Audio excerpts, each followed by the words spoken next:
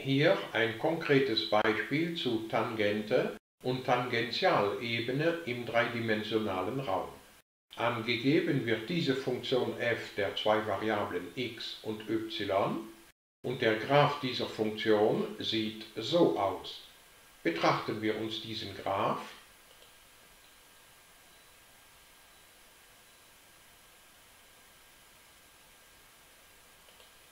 Angegeben werden ebenfalls Abszisse und Ordinate von einem Graphpunkt, hier 0, 0, und das Lot von diesem Graphpunkt erhalten wir, indem wir da x durch diese 0 ersetzen und y durch diese 0 ersetzen.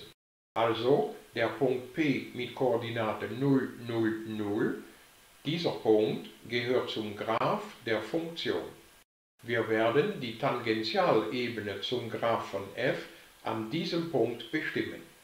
Die allgemeine kartesische Gleichung dieser Tangentialebene schreibt sich so.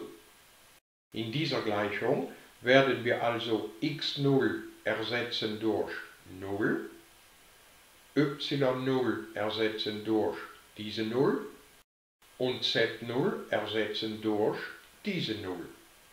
Hier brauchen wir die partielle Ableitung der Funktion f nach der Variablen x, also leiten wir die Funktion f nach x ab, das heißt, indem wir y als Konstante ansehen. Die Ableitung hiervon nach x ergibt also 2x minus 0, das heißt 2x. Hier brauchen wir die partielle Ableitung von f nach y, also leiten wir f von xy ab nach y, indem wir x konstant halten. Diese Ableitung ergibt dann 0 minus 2y, also minus 2y. In dieser partiellen Ableitung nach x ersetzen wir das x durch diese 0, das ergibt dann 0, und in dieser partiellen Ableitung nach y ersetzen wir y durch diese 0, dann ergibt das aber auch 0. Und somit wird diese Gleichung in unserem besonderen Beispiel zu dieser da. Und diese Gleichung kann man noch viel einfacher schreiben. Es ist die kartesische Gleichung z gleich 0. Das ist also die Ebene, gebildet durch die x und durch die y-Achse. Diese Ebene ist also die Tangentialebene zum Graph von f an diesem Punkt P. Beobachten wir das?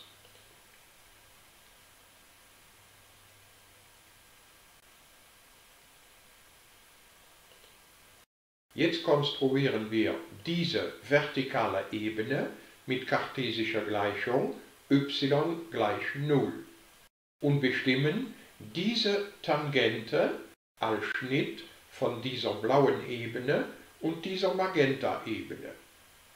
Diese Tangente ist also die Schnittmenge von der blauen Ebene und von der Magenta-Ebene.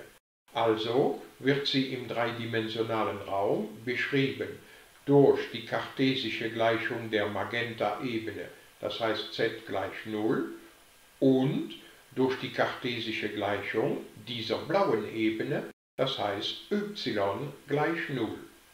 Schauen wir nochmal gut nach. Diese rote Tangente ist effektiv der Schnitt dieser blauen Ebene und dieser Magenta-Ebene.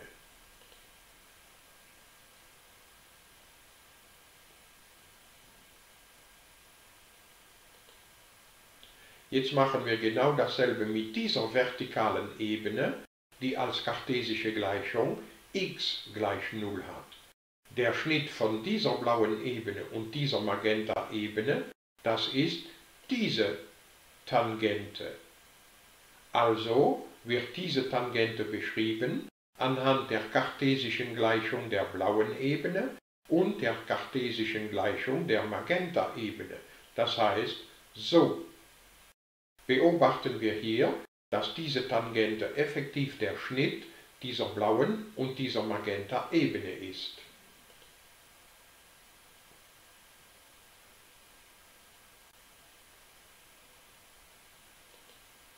Und jetzt betrachten wir nochmal diese zwei Tangenten und diese Magenta-Tangentialebene.